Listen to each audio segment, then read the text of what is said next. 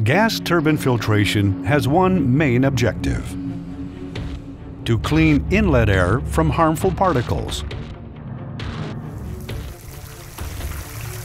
But inlet systems also face another challenge. Water. Or worse, salt water. Salt water accelerates the corrosion of metal surfaces, and dry salt particles expand five times their size due to variation in humidity. The result can be a severe pressure drop causing the filter to burst. With years of filtration experience offshore, we've learned how to protect your engine. Camfil Farr introduces the new and improved CAM GT filter 4V300. The CAM GT has vertical pleats with open hot melt separators which allow trapped water to drain freely through the media.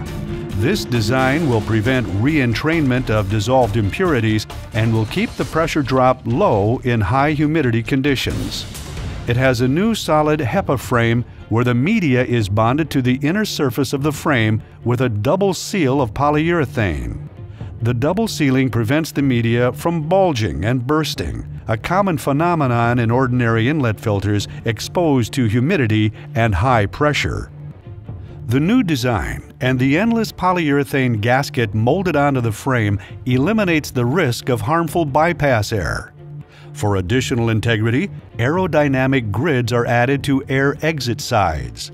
The CAM GT withstands more than 6,250 Pascal continuous pressure when wet.